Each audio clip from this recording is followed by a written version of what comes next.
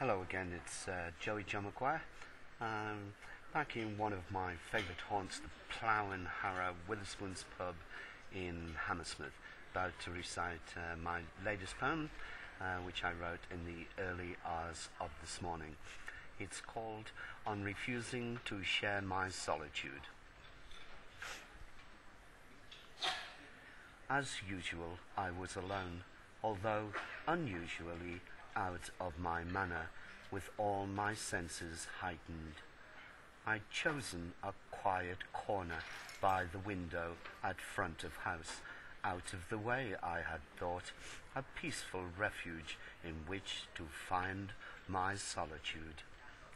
Events and years had determined my predicament, as solitude was part and parcel to my illness, but I could survive with effort if left alone in peace.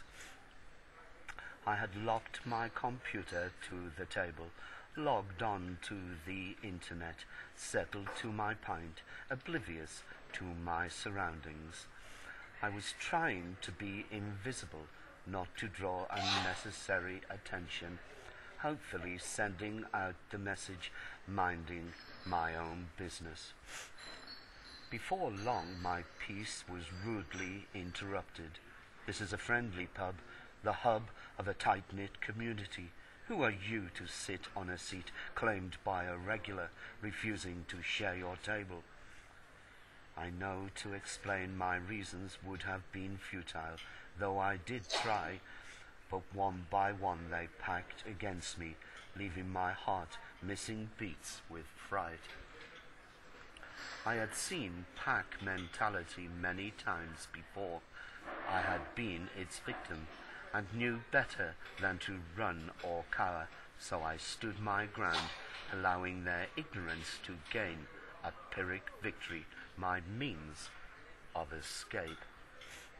Two days later, I was called upon to endure yet another similar situation, and needless to say, I stood my ground, as was always the norm.